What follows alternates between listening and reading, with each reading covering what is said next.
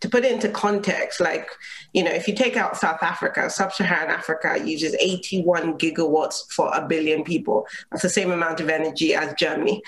Do you see what I mean? So when you're talking about economic development, what we should really be focused on is what is the low carbon trajectory? And I think that's been doing been done quite well by the COP team. I've had many conversations with Nigel. And there's also like the Energy Transition Council, of which I chair with Alok Sharma, that's focused on what is the clean energy offer? You know, when you're going to developing countries and you're either saying stop using fossil or stop using this, what is the alternative? It's it's easier in the global north when yes, you can call on the banks, you can call on people people you're investable, right? But if you're not investable and people are saying you have to write regulation policy, we have to wait for a change of government, we have to get trust, that's four or five years down the line for something you're trying to achieve by 2030.